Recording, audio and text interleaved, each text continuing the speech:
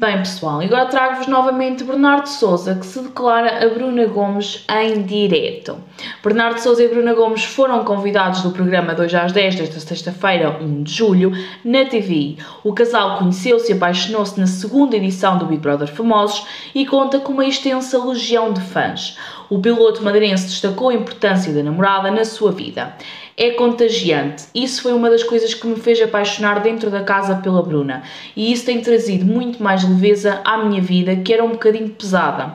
Esta leveza, esta alegria de viver, lá está. Às vezes é preciso cairmos bastante para, para darmos valor às pequenas coisas. Este riso dela parece uma criancinha logo pela manhã. É contagiante e traz uma leveza à minha vida que eu já precisava, acrescentou Bernardo Souza. E nisto ele tem razão. Se formos a ver, a Bruna é muito mais leve, divertida.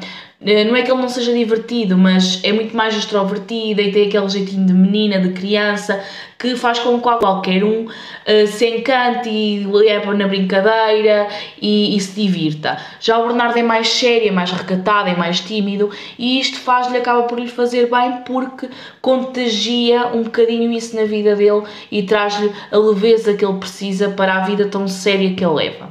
É isto que eu trago para vocês. Até ao próximo vídeo.